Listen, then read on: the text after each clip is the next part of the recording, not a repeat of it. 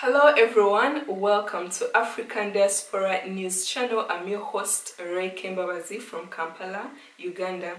So many times medical books use light-skinned models as examples of how to note disease symptoms. This usually makes it very challenging for doctors to diagnose these diseases on people with dark or brown skin tones. So a second year medical student known as Malone Mukwende from the St. George University of London launched a handbook to address this problem.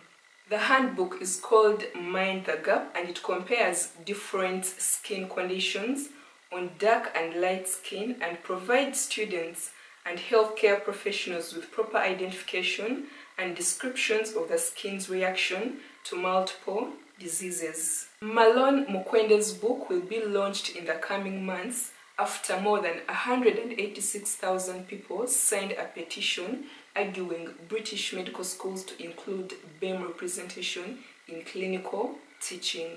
They pointed out Kawasaki disease, a rare condition that mainly affects children under the age of 5. On white skin, this appears as a red blotchy rash, but it's much harder to spot on darker skin.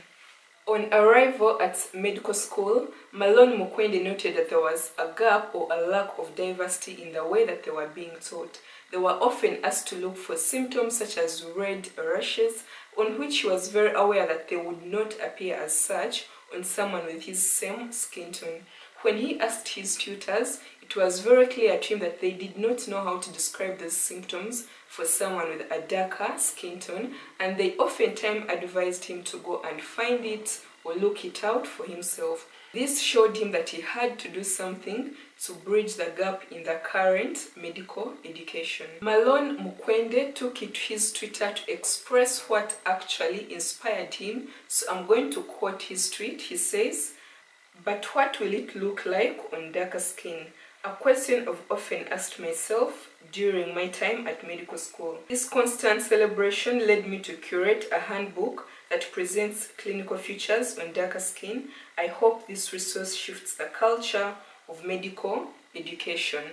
Malone Mukwende says that he hopes that his handbook called Mind the Gap will become a staple in all institutions in the UK and all over the world eventually. He goes on to say that medical professionals should be aware of the various ways that symptoms of a similar disease could present itself on people of different skin tones.